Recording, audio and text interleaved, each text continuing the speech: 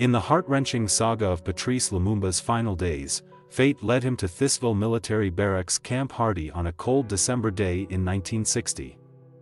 Accompanied by his loyal political associates, Maurice Mpolo and Joseph Okito, Lumumba had hoped to establish a new government that would pave the way for a free and united Congo, but hope quickly gave way to despair as they were met with cruel and degrading treatment by their captors, following the sinister orders of the treacherous Mobutu.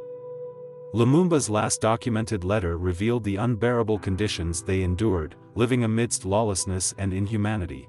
Then, on a fateful morning in January 1961, the delicate balance of discipline at Camp Hardy shattered. Soldiers, disillusioned and unpaid, clamored for change. Some demanded Lumumba's release, while others feared the potential danger he posed.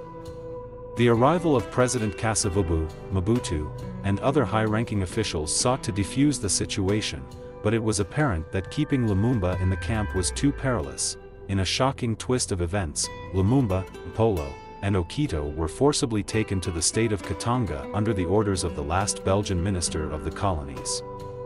There, they were subjected to a hellish ordeal, brutally beaten and tortured by merciless Katangan officers while President Tshombe and his cabinet debated their grim fate. As night descended, Lumumba was driven to a desolate spot where grim executioners awaited.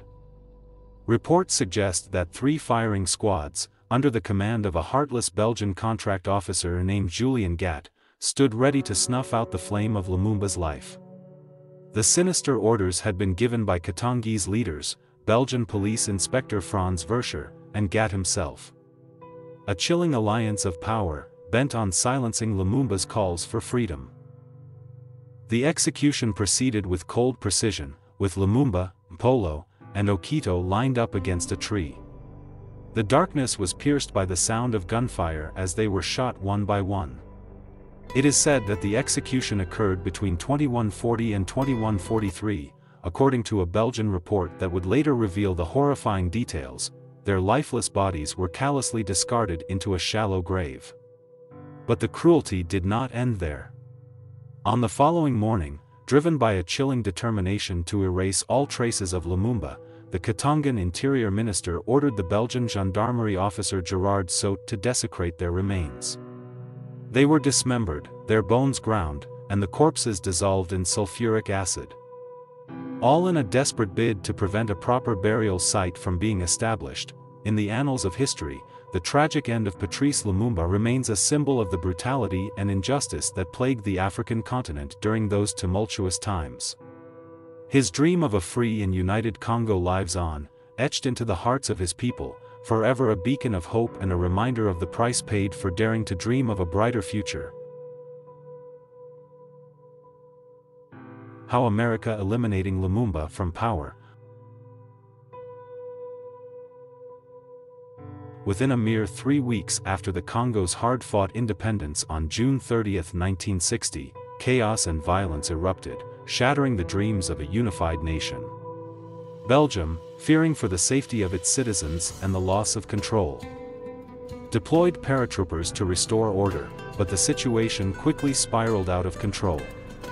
Katanga province, driven by its own ambitions, decided to secede, adding another layer of complexity to the already turbulent landscape.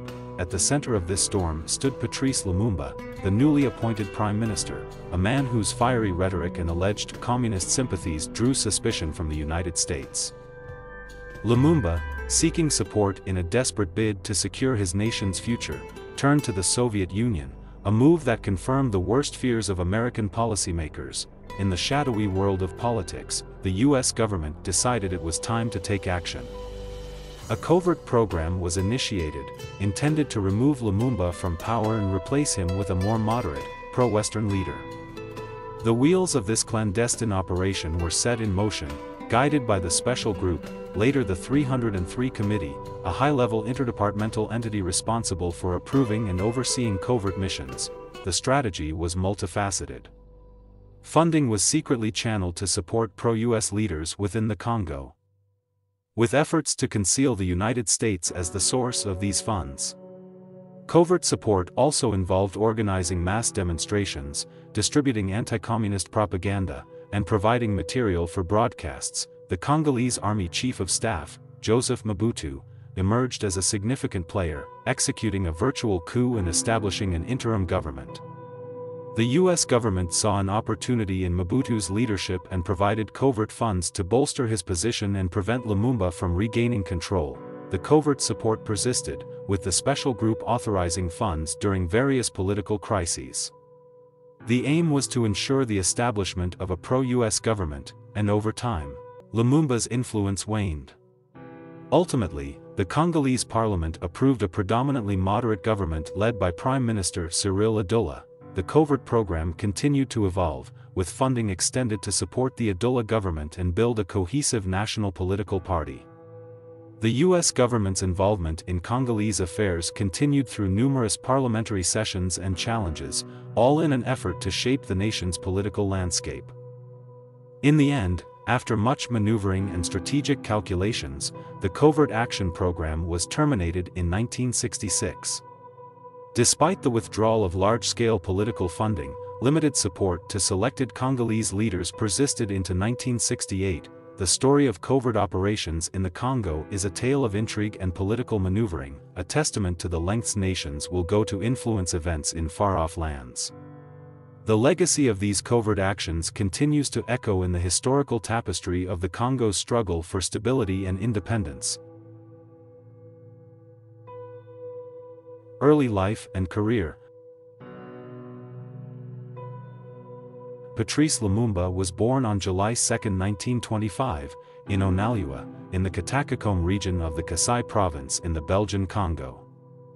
He was born into the Tetela ethnic group and originally named Elias Okit'Asombo. His parents were Julien Wamato Lomendja and Francois Tolenga Otetshima, a farmer. Lumumba had three brothers and one half-brother. He received his education at a Protestant primary school, a Catholic missionary school, and a government post office training school, where he excelled academically and displayed a vocal and precocious nature. Lumumba was fluent in multiple languages, including Tetela, French, Lingala, Swahili, and Tshiluba. Lumumba was interested in Enlightenment ideals and literature, particularly the works of Jean-Jacques Rousseau, Voltaire, Molière, and Victor Hugo. He also expressed his anti-imperialist beliefs through poetry. During his early career, Lumumba worked as a traveling beer salesman and later as a postal clerk in a Stanleyville post office. He had three marriages and one son named Francois Lumumba. In the post-World War II period, Lumumba, like many young African leaders, became involved in nationalistic activities, advocating for independence from colonial powers. Leader of the MNC, in 1958, Lumumba co-founded and became the president of the Mouvement National Congolais, MNC, a party that promoted independence, Africanization of the government, state-led economic development, and neutrality in foreign affairs. He quickly gained popularity due to his charisma, excellent oratory skills, and strong ideological beliefs. Lumumba attended the All-African People's Conference in Accra, Ghana, in 1958, where he further solidified his Pan-Africanist beliefs and impressed Ghanaian President Kwame Nkrumah. In late 1959, Lumumba was arrested for inciting an anti-colonial riot in Stanleyville but was released due to the MNC's strong showing in local elections. He became the formateur, delegate, tasked with forming a national unity government, leading to political negotiations and challenges, independence and election as prime minister. On January 27, 1960, the Congolese independence was declared, and national elections were scheduled for May 1960. Lumumba was appointed as the delegate to investigate the possibility of forming a national unity government.